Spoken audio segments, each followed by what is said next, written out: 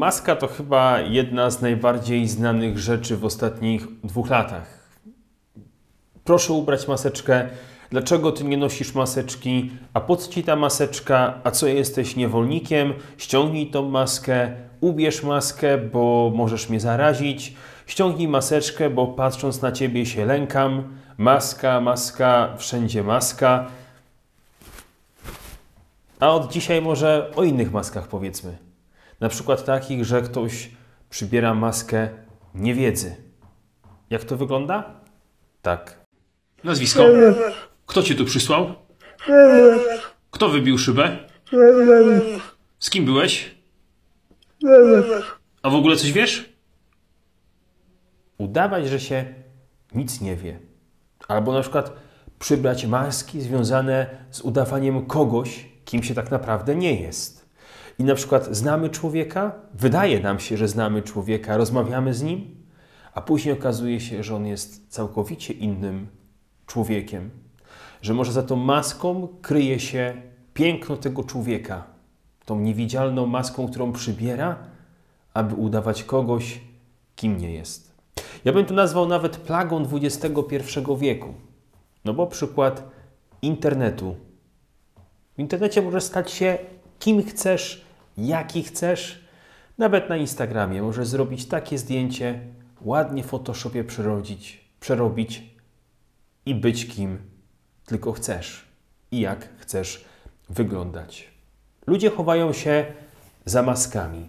Kreują się na osoby takie, jakimi nie są.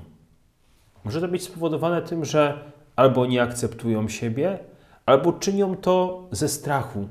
Boją się negatywnego komentarza, boją się tego, że nie zostaną przyjęci tacy, jacy są, więc udają kogoś, kim nie są, aby może nawet wzbudzić respekt. A Chrystus?